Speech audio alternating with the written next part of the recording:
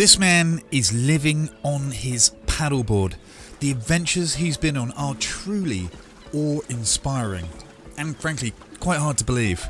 He currently holds no less than eight world records, and we met him completely by chance whilst we were at anchor here in Torbay. You see, we live on this boat and sail around the country, staying in the most beautiful anchorages which exist along this coastline, which we then upload for you all on Cadoha.com.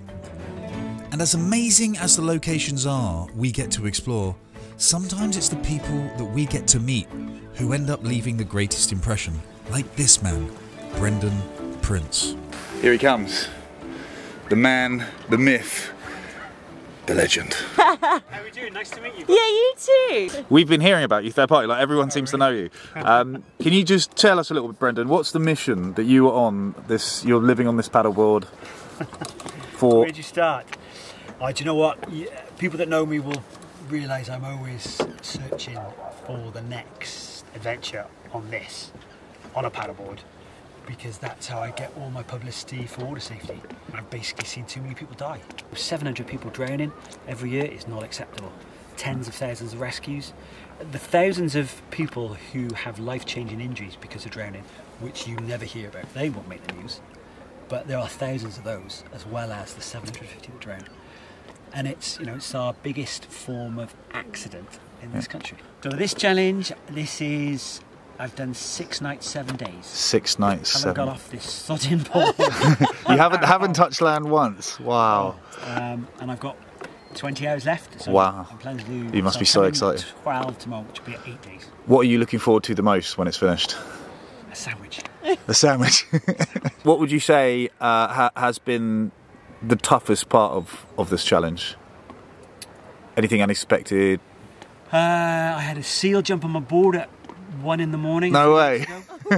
and properly stu jumped on by my Joined you? and kind of gave me a look of, you haven't seen me. And then tried to shimmy on. I was like, get out! um, last night at about one, because I've got a canopy that goes, Yeah. um, I swung round, so I broadsided the wind, which hit and just tipped me up, kind of Ah. only about 45 degrees, but enough to roll me half into the water. Oh no. And I was asleep, and, and then I lost a bit of kit, and it's clambering, you know, all those sort of things, and then you're just holding onto the shelter, and it's just like, and you're soaking wet, and you're like, it's not as fun. You hold eight world records. Yeah, That's um, just All amazing.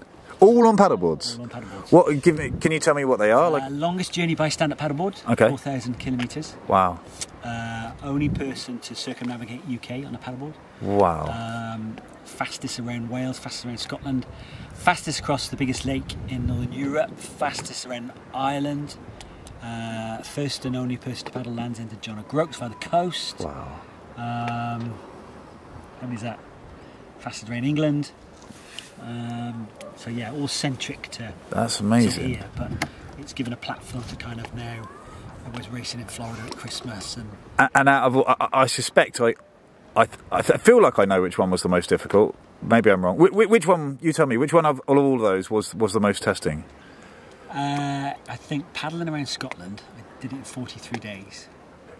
Uh, It's just a different world up there. I bet. You know, the waves, the, the wildlife, um, Yeah. Right. it's phenomenal. What, what kind? Did you see any orcas or anything like that, or any whales? Yeah, so I saw, um, I got around Cape Wrath, Uh huh. which in itself, you know, is phenomenal. It's just like, this place is unreal. It should be in a film, you know. It's, you've got the, the, the cliffs and um, the noise of the birds is just, you know, it's a cacophony, it really is. Yeah.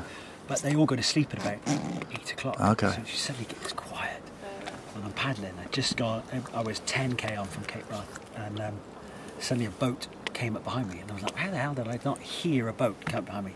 And what I thought was a boat was Killer Whale. No way. And it literally just cruised up behind me. How, how did that? How did that feel? The first time you saw a killer whale and you're on your paddleboard and you're on your I'll own. put it this way: well, the paddleboard I was on was a very different board to this, Right. More racing board. So It's still a killer whale though, right? yeah, I stepped stepped back and turned into it, and its bow wave hit the back of my board, and I fell off. no.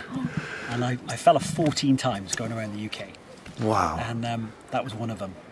And I'm in the water as the killer whale cruised by, and I don't think you can watch all the documentaries. I don't think until you see how high that fin is out the water, and there's an eye that is properly looking at you, yeah. looking through you, do you realise just just how majestic and powerful this thing is? And then as it cruised by, and I'm thinking, still got my legs, still got my arms, and I'm getting back on another one, just cruised up behind me. No way. And I saw them twice more that night, and you realise that they were coming at you, as in they're hunting you, until they realise, oh, that's a human. Okay. crap. So they were figuring you out. Oh, never. You always saw one first. You thought, ooh, and that would get your attention, and then suddenly they'd be boom, boom, from either side. Um, so you know, on a boat, you've got to see them. You, uh, you will. You will definitely see them if you're ever out there. And whales. You know, you, there's nothing. I was coming across the Firth of Forth in fog, so following um, following GPS. Yeah. Because I couldn't see the coast. And all of a sudden, you start hearing the whale song in the fog, and Oh, that is wow. like gut wrenchingly beautiful, but gut wrenchingly. Oh, it must be. So, yeah, like you say, because like you say, you're all there. You can't see them. Maybe they can see you. No one can see you. Do you? Do you? When you're in a situation like that, when it's foggy, do you? Do you have anything like a horn or anything to sort of at least give people? Yeah. Because, because, well, you know what fog's like. I do. You, you, what you think could be miles away could be right on top of you, or vice versa. Yeah. And you can't see a thing. Um, so you're constantly, and I've obviously got the radios, so I can straight away communicate with whoever it is, find out what their course is, and, and work it out from there. So Yeah. it's important. and Obviously, otherwise you don't even try such things. What would you do after this? Have you even thought about it? Have you like, how do you keep setting that bar when you've already done so many Uh, amazing so things on a? To, Scillies and back in a day. That's Ooh, in a day? In a day. Wow. So it's about 43k. I was going to say, Um, it takes us what? Well, it depends where you're. Yeah, it depends where you're going from. So Land's End. Yeah. Um, so yeah, out in one tide, back on another. It's, it's quite technical to work that out. Yeah. At the right time of year. So that's that's a mission for next year, hopefully. Um, and then a few big crossings because the idea of doing this was thinking, actually, you go that way. How many days could you do? Knowing, you know, realistically, you know what the weather's like. Three days, you can pretty accurately work out three days, but beyond that, anything can happen. So Of course. where could you go? Could you go from here to the far furthest point in, in France? I, I imagine like we'll just, there'll be a whole bunch of people watching this, and I already know what they're going to type. They're going to be like, "Where do you go to the toilet?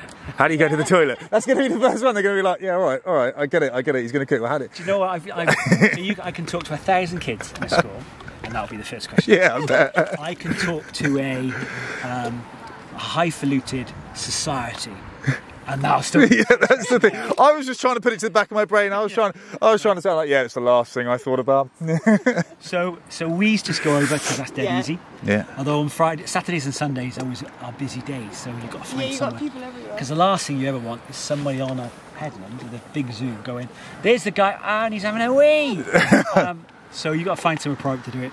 Uh, but the poos, I keep, as in You keep them. They're bagged. Oh, well. Yeah, just because big advert of keeping our blue water blue. yeah, And why should I, why should I do it if I don't want the, the sewage companies to do it? yeah. So um, Well, that's that's that, bag that within a bag within a bag with those in.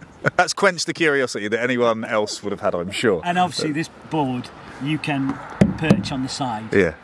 Without having to fall off. So Worry it's- about falling off.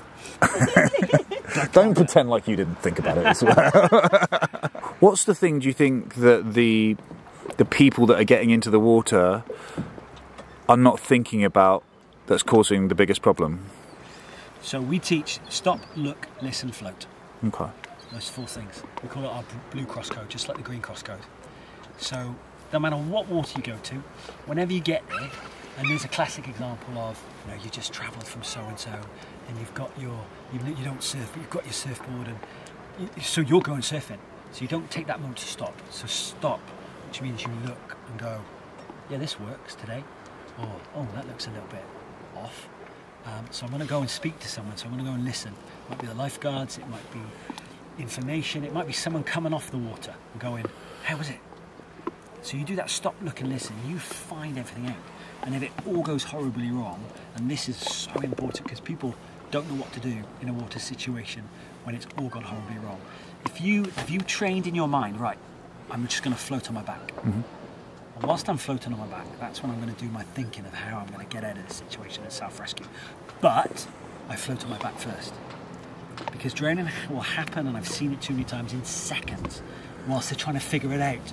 Oh, do I swim there or, or swim there? And all of a sudden they're going down. They only need that one mouthful of water and it's all going horribly wrong. So they float on their back. Get rid of that panic. They can think what they're doing. They can call for help. You know, just those four basics would save thousands of lives. You know, and, and then we train about cold water shock and rips and, and self rescue, what to do for that, or how to rescue someone else, who to call 999 Coast Guard, 999 Fire and Rescue. All those simple things can save a life when every second counts.